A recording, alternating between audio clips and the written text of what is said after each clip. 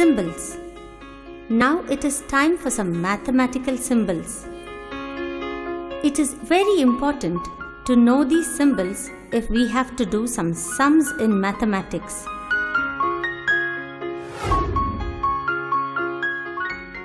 This symbol is used for addition.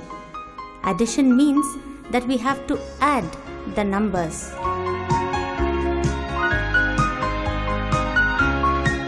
This symbol is used for subtraction. We remove when we see this symbol.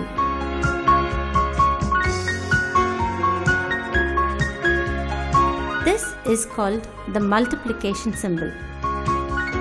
We multiply when we see this symbol.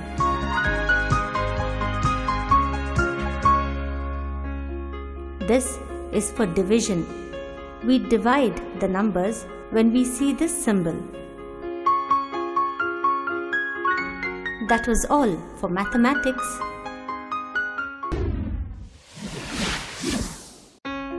Symbols. Now it is time for some mathematical symbols. It is very important to know these symbols if we have to do some sums in mathematics.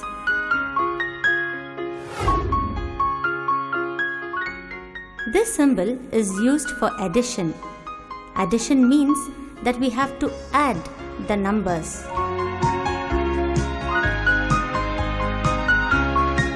This symbol is used for subtraction. We remove when we see this symbol.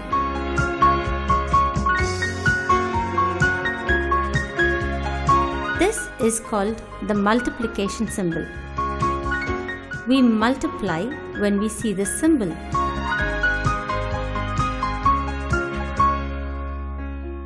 This is for division.